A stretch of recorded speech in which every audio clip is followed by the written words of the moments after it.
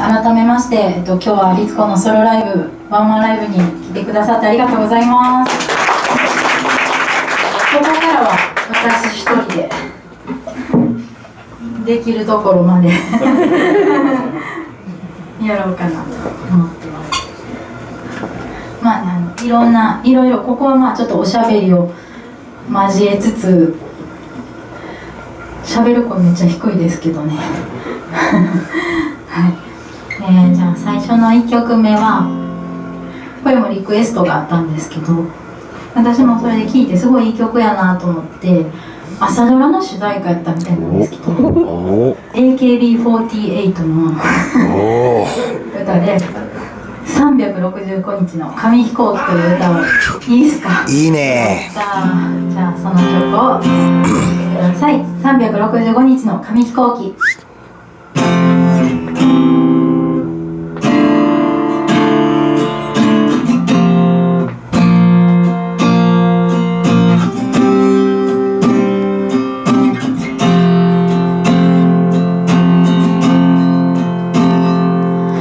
朝